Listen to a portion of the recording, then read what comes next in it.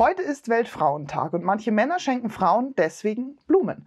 Das ist eine nette Geste, aber echt nicht Sinn der Sache. Am Weltfrauentag geht es um die Gleichstellung der Geschlechter. Es soll informiert und sensibilisiert werden.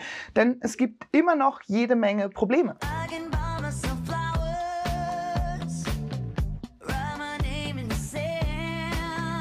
Statt den Tag immer mehr zu kommerzialisieren, solidarisiert euch lieber und macht auf die Sache aufmerksam.